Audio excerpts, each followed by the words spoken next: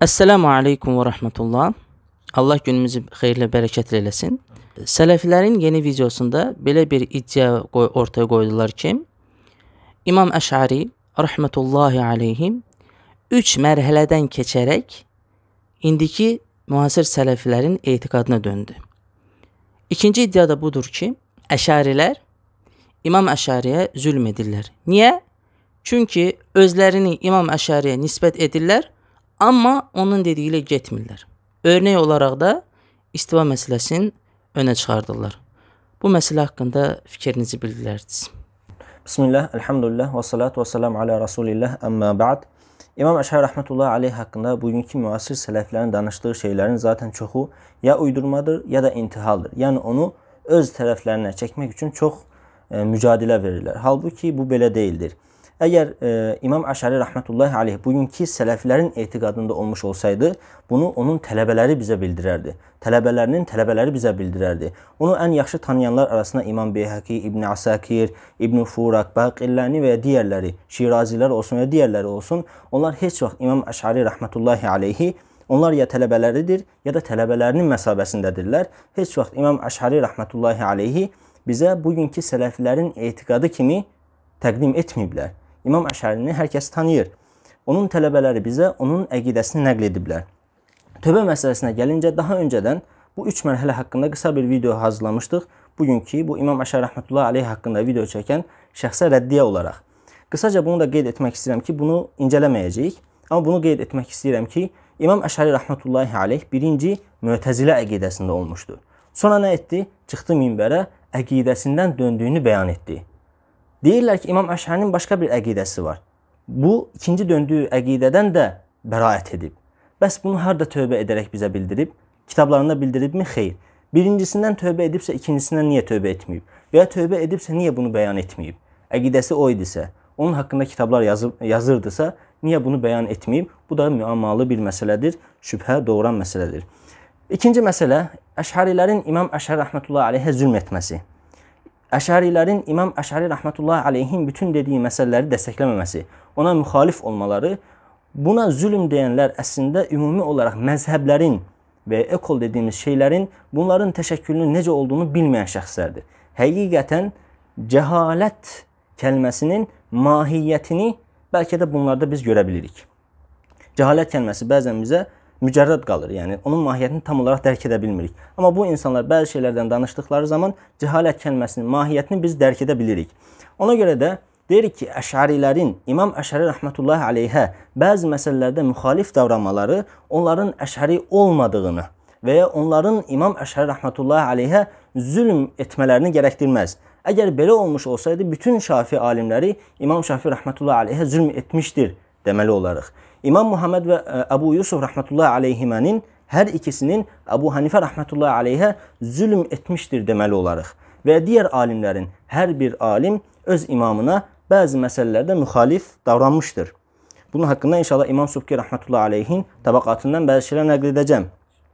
Ona görə də bir insanın öz ə, məzhəbinin imamına müxalif davranması əslində usulda deyil, bəzi məsələlərdədir. Əgər usulda ona müxalif davranmış olsaydı, hə, o zaman biz bunu başqa bir mərhələ ilə danışa bilərdik.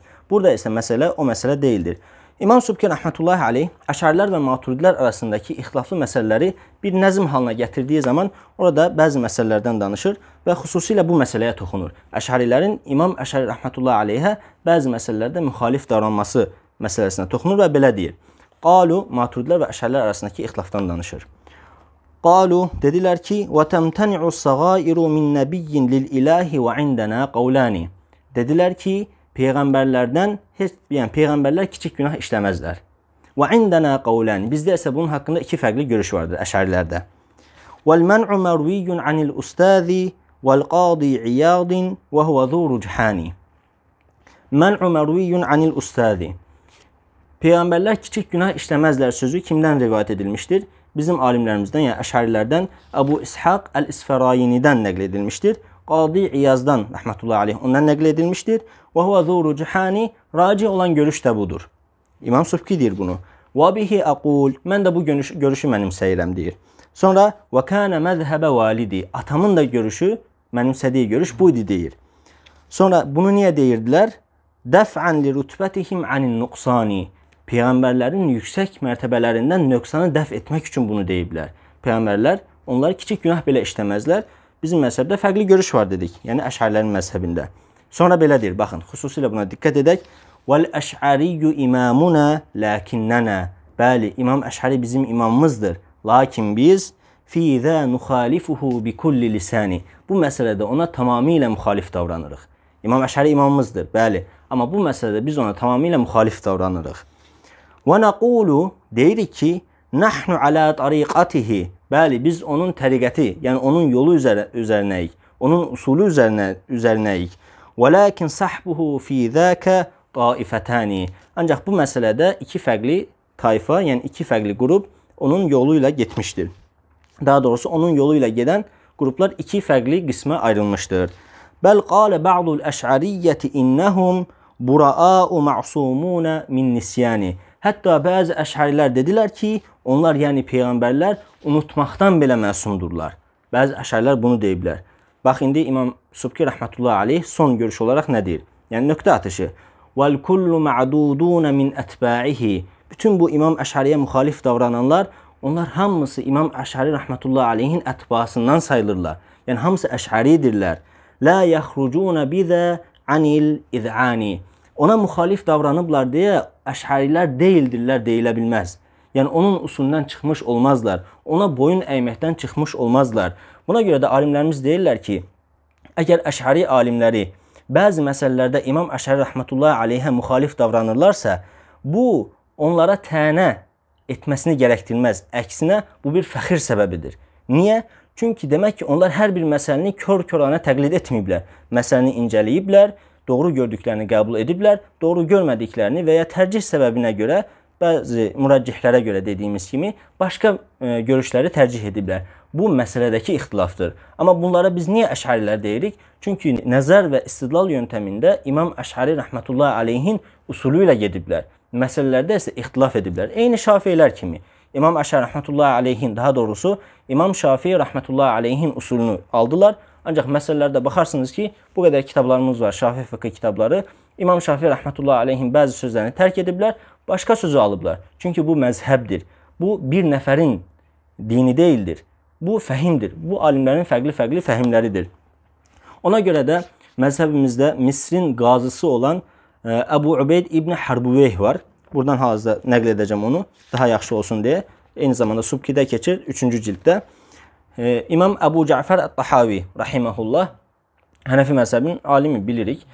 Əbu Ubeyd İbn Harbuveyh İmam Tahavi rahmetullah aleyhlə görüşür və ona belə deyir: "Ya Əbə Cəfər, ey Əbu Cəfər, ey Tahavi, əmə alimtə ənə mən la yuxalifu imaməhu fi şeyin asa Bilmirsənmi, bir nəfər öz imamına bir məsələdə belə olsa müxalif davranmazsa günahkar olar. Əbu Ubeyd İbn Harbuvey Mısırın qazısıdır, böyük alimlərdəndir. İmam Subki rəhmətullah aleyh onun haqqında min ərkanil məzhəb, məzhəbin rükünlərindəndir deyir. Əbu Savrın tariqəti üzərində, onun usulü üzərində davam etmişdir. İmam Tahavi rəhmətullah aleyh necə deyir? Qalə, dedi ki İmam Tahavi, Naam əyyuhəl qadi və qabiyə, bəli ey qazı, İbn Harbüveyhə deyir və eyni zamanda da axmaqlaşar deyir. Yəni ona görə də bizim alimlərimiz bütün məzhəbimizin böyük alimləri olmuş olsa belə və ya məzhəbimizin həm usulda, həm fıqhda qurucuları olmuş olsa belə onların dediyi hər bir məsələni kör-körənə qəbul etməyiblər. İncələyiblər, ondan sonra doğrudursa alıblar, doğru deyilsə almayıblar. Bunun istiva məsələsi olması isə başqa bir nüansdır. Bu hal-hazırda onu biz incələməyəcəyik və incələmənin də bir faydası yoxdur. Bir gün inşallah sələflər qarşımıza gələr. İmam Əşər rəhmətullah aleyhin də sözünü incələyərik, e, Əşərilərin digər sözlərini də incələyərik. Bu şəkildə inşallah bir müzakirə təşkil etmək olar. Elhamdülillah Rabbil aləmin.